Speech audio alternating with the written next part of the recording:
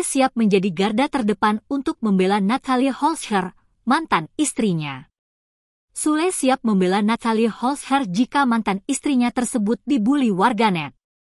Meski sudah bercerai, Sule ingin tetap menjaga Natalie yang merupakan ibu dari anaknya, Azam Andriansyah Sutisna.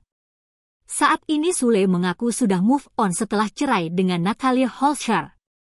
Ayah Rizky Febian tersebut bahkan memberikan doa terbaik untuk Natalie Holscher.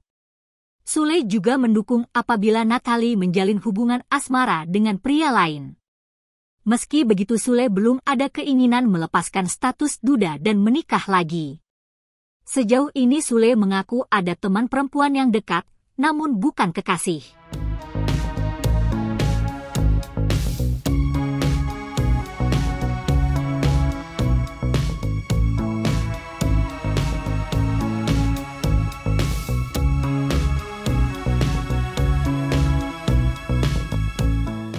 Download Tribun X sekarang.